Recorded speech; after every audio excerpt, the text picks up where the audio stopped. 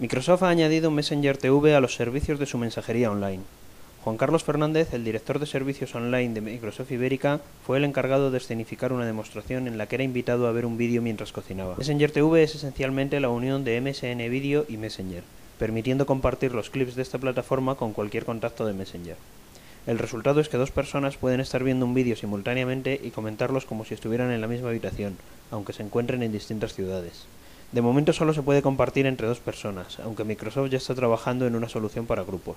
En cuanto al contenido, solo se puede compartir el procedente de MSN Video, que está proporcionado por empresas de contenidos como MTV. En un futuro se podrán incorporar los vídeos generados por los usuarios en su Appbox.